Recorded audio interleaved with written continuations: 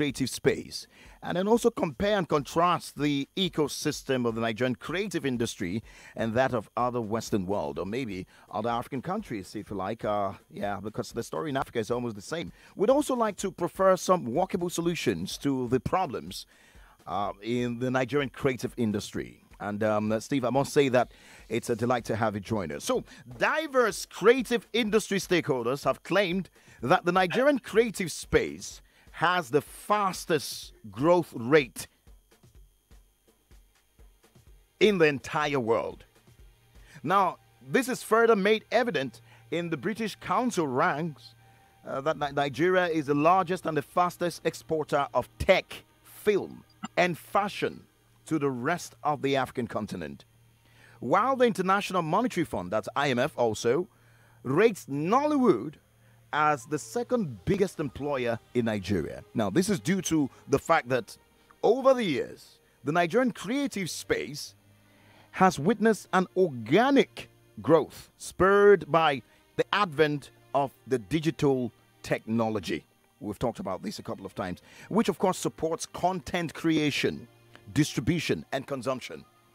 This, therefore, makes the industry players to opine that the Nigerian creative sector has the ability to productively engage the country's teeming population. And that's that last line. You see all the English at the beginning. It's just for you to have a picture. But the last line, you know, engage the country's teeming population. And that's you, the youth, for which the show is uh, created for. You see why we're passionate about the creative industry? But let's just go back a little so that you understand why we're going to. I'm talking to you, the listener, right now. All right, economic research findings indicate that in 2016, the Nigerian film industry sector contributed about 2.3%. That's about 239 billion of Nigeria's gross domestic products, GDP. And Nigeria's music industry grew by 9% by 2016 to reach the value of $39 million. Now, it is set to grow by 13.4% by 2021. So this is irrespective of you know the happenings right now. Now with the estimate, uh, an estimated worth of over 73 million dollars. Well, you could say that's small figures, but it's quite quite a big one for an industry that is in codes has so many challenges we will go, which we'll go into today. Also, the gaming industry immensely benefited from a broadening customer base, mostly uh, the large and youthful population. Now, Unicorn uh, values Nigeria's video gaming industry at 150 million dollars USD, guys, and estimates mobile gaming to surpass 147 million dollars by 2020. So by the end of this year, we're expecting that. So even in the gaming space, there's something going on there. So let's even I have a complete breakdown an estimated Nigerian industry revenue between 2014 and 2023 and from 2014 26 million 2015 27 million 2022 let me fast forward to about 42 million dollars and then 2023 44 million dollars. So that's an estimate from even you know the, the, the, everything that's going on now. So today let, us even connect the dots and get into this conversation. Let me start with you um, with this one to uh, steve what, what's your general overview about the progression of the nigerian creative industry well, I mean, it's it's it's astronomical. It's actually phenomenal the, the growth, and and if you look at it, the growth is basically fueled by just that sheer power of creativity that uh, God has endowed our youth with.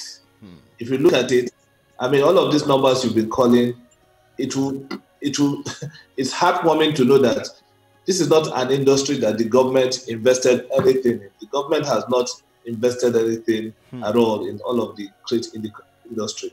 Hmm. And if you look at it, corporate Nigeria has tried a little bit, but not even in a very structured and systematic fashion.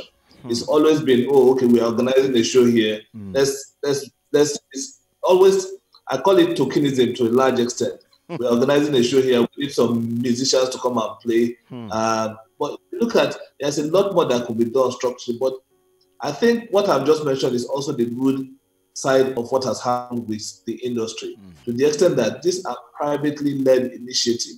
Mm-hmm. I mean, the guys who started uh, Nollywood were just uh, uh, Igbo traders hmm. saw an opportunity and took advantage of it. And look at how well it has grown to now. People talk about the new new knowledge of more uh, input goes into the scripting and all of the whole technical details. Hmm. But the same music, the people like uh, Kenny Ogungbe, Obi Asika, mm-hmm. Audu Maikori, those are the people their money until you now found this new set of Nigerian mm. entertainment and mm. they like they Davido, like Wizkid, who are also developing new talent. So it's always been about us, mm. you know, and and, and the, the, the, growth has been really, really phenomenal, like like you rightly point. When to the base GDP of this country, of course, where did they look look to?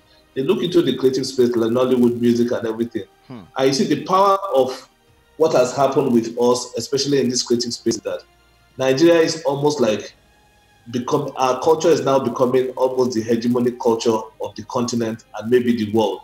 Because now you can, I, I was in Cannes the other day hmm and I was in a random ice cream shop, hmm. run by this Caucasian guy and his family, and they were playing Tekno's music there. That was like way back four, three, four years ago. You know what I'm saying? Hmm. So anywhere you go, it's not out of place to hear Nigerian music or see uh, Nigerian movies. Hmm. It's, it's it's been growing. It's indeed it's been growing. No doubt. Find no, no, no. Now be part of the conversation now okay. in a more structured way. All right, great, great, fantastic. I mean, from your word of experience, it would be nice to hear from you. Uh, you know, the countries, if you, you could compare and contrast how the industry you know, um, is run, especially in, in some other climes. Because at, at, the end of the day, we, we, we, we don't live in isolation. So, so how, how do you think we're running? How do you think the industry is faring compared to other clients, let's say in West, for example? Let, before we even go, let's not because we're quick to go and compare ourselves to America and uh, UK and all, which honestly I'm not like one to quickly do that. Let's look inward in the, on the continent. Mm. You know what I mean? Because those ones they have a different history from us and whatever. Yeah. yeah. Let's compare and contrast uh, Lagos with Johannesburg, okay, South Africa. Mm-hmm. Okay, mm-hmm. what you find is that the entertainment um, uh, market in South Africa is way smaller, a spit in the ocean compared to what we are sitting on in Nigeria. But the difference majorly is the structure hmm. that has been put in place, the infrastructure, the backbone for that industry to thrive. So the chances are, if you are a South African artist and you put out your music in South Africa, hmm.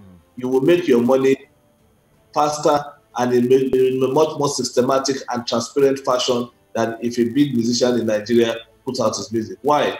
The IP laws, the distribution uh, routes to market, and how you get your music out, and how you account for the payment and then you it's after making that money that you can that is and it's verifiable this is the income you made hmm. so we can then tax you on what and then the government benefits as well but here it's anywhere benefits we've not been able to get our distribution in fact it's non-existent hmm. and if you look at Nollywood how many cinemas do we have compared to the population of people just in lagos alone hmm.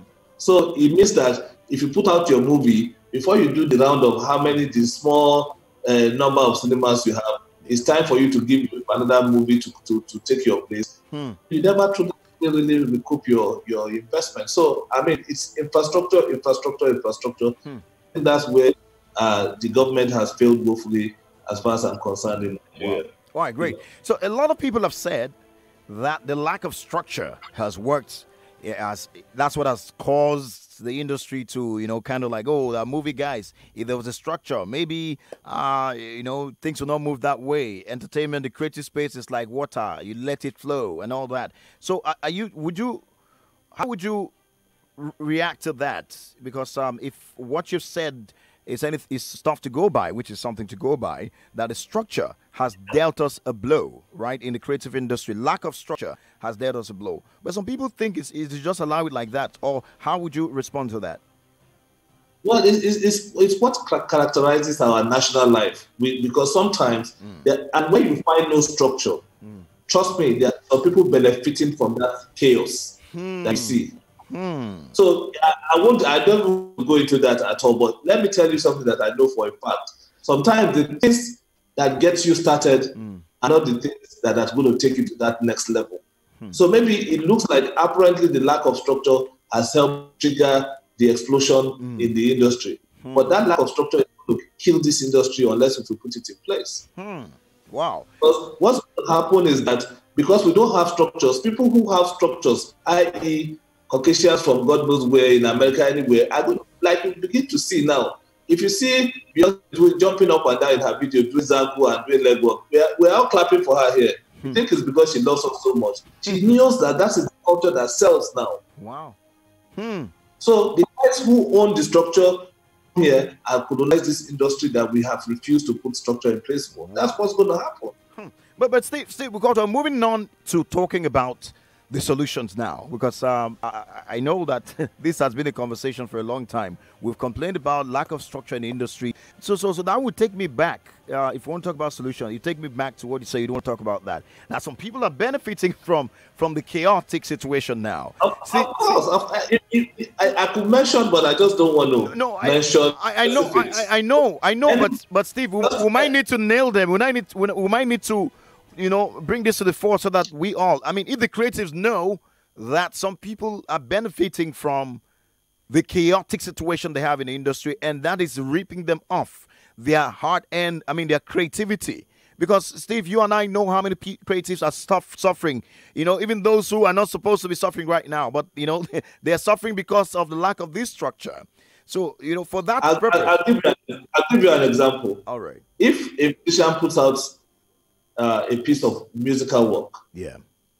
And then, because of the chaos, hmm. feeding fat, and they have marrying their third wife off the sweat of this musician. Hmm. The same thing with, and that's why you find the same thing with the movie industry. That's why you find some. Like if a friend of mine could have literally went on the street one time out of frustration, mm. trying to arrest people who were pirating his movie, selling, selling it in traffic. So if Kunle Afolayan is not making that money, his uh, Golden Effects uh, company is not making the money mm-hmm. of this movie. And so some guys, and even the guys who are on the street peddling this movie are also victims because they, the big pirates are somewhere seated, did the work and just recruited these guys to be leg runners. You know what I'm saying? So whenever there is chaos, just know that somebody is, is reaping the benefit of that chaos. Hmm. All right, Steve, what are the solutions you would propose in, in the loopholes what in the sector? One is for the government to come in. I think one, there's failure in government to actually even recognize the full potential of this industry. They know it in theory, but they don't see it practical. I mean, that is to say, if you really want to, uh, you need to establish either some kind of industry that will be solely responsible for mining creativity. Because see, that is one thing that we have that's going to outlast oil. Mm.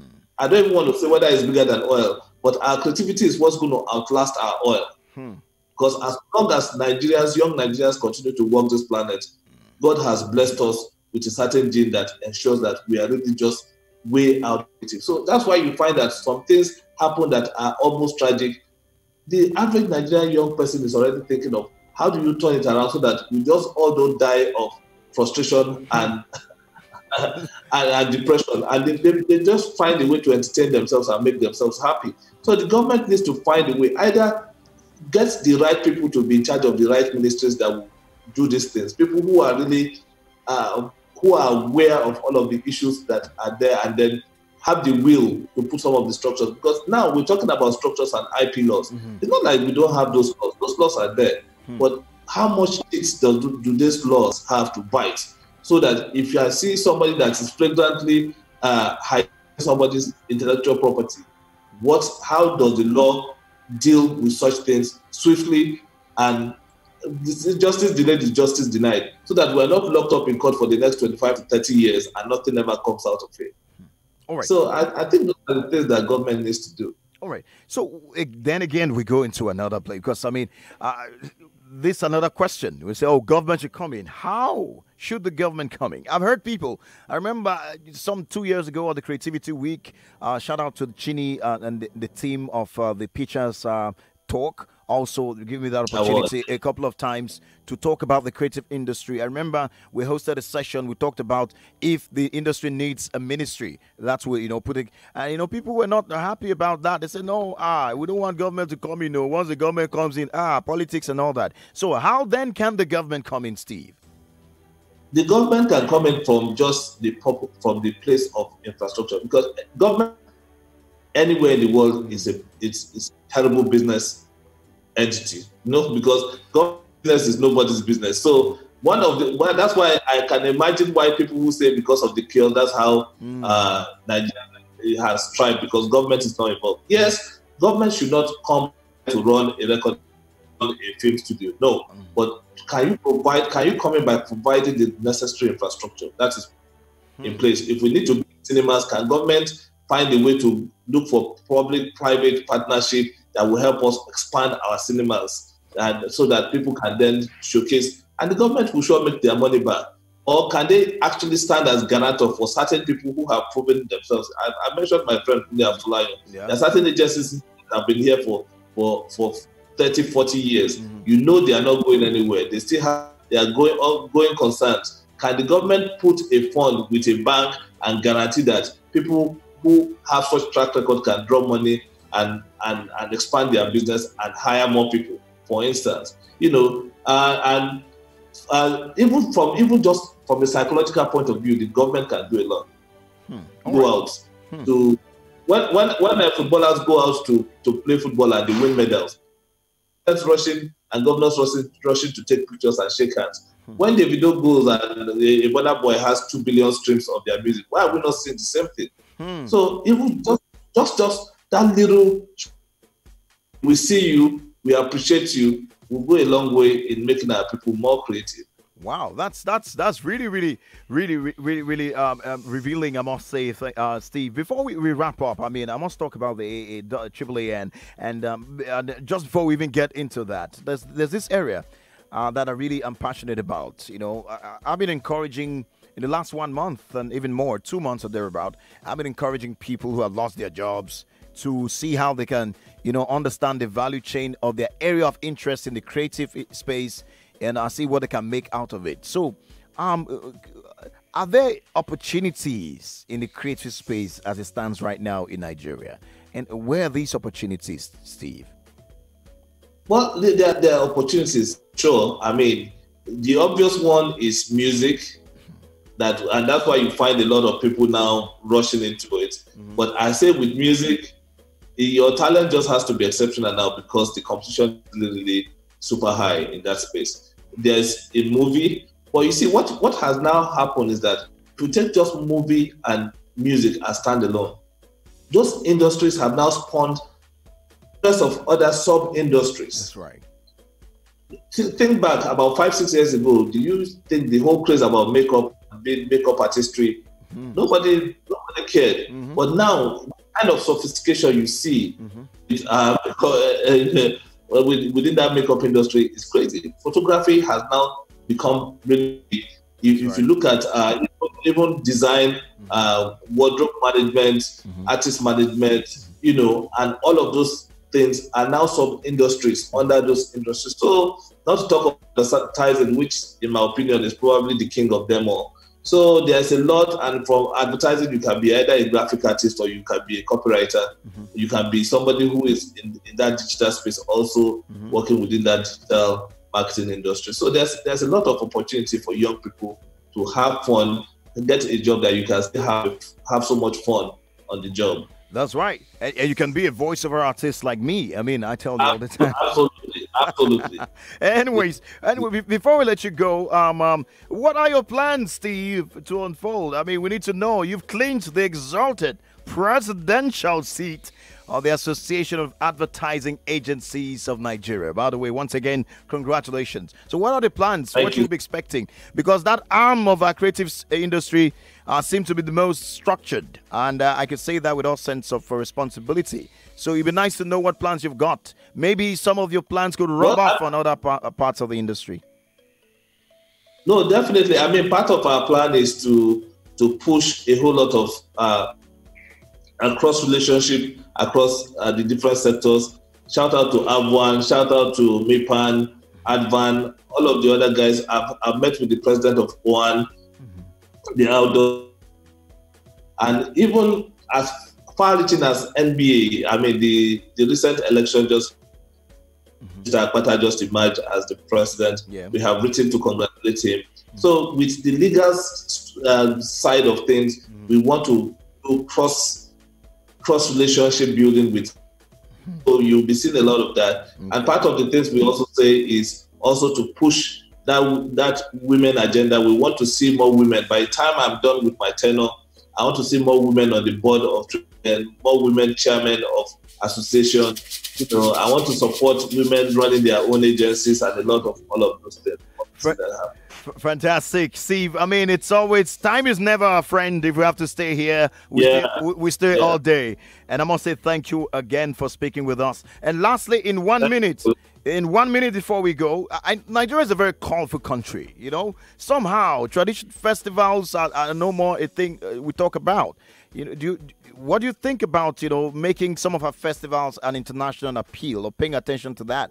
Uh, do you think that has some potentials? Well, I mean, I saw a video recently uh, online. I don't know how uh, authentic that video is, but some bunch of white people actually brought masquerade out of a truck Uh, in, somewhere abroad, hmm. and they were singing and beating drums to it. I keep saying that if you don't value what belongs to you, hmm. some other people will come and take it.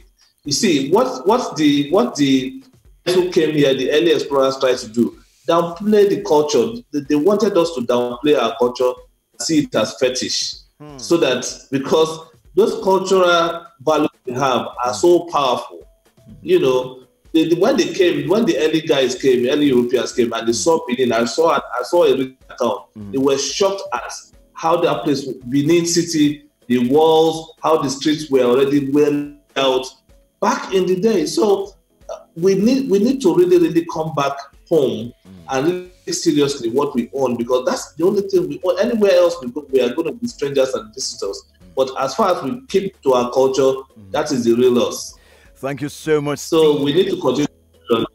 Fantastic, fantastic. Thank you so much, Steve. So our sixth signing out tune is "What's Up, Lagos," and you scream it. And um, and irrespective of if you can be president, you can you must scream that "What's Up, Lagos" on the show. So we're going to sign out with that.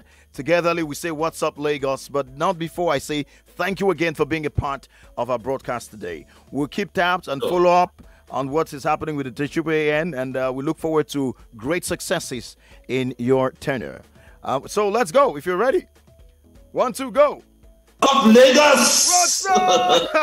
Wonderful. Thank you so much. Steve and Michael, they're speaking with us live on the show. We're going on a break because the ladies here to bring you an update as far as news is concerned. Well, you can always find this broadcast. It's on our page on Facebook. So you can fo- follow us on Facebook at Nigeria Info FM. Uh, Yvonne is here with the news in just a second.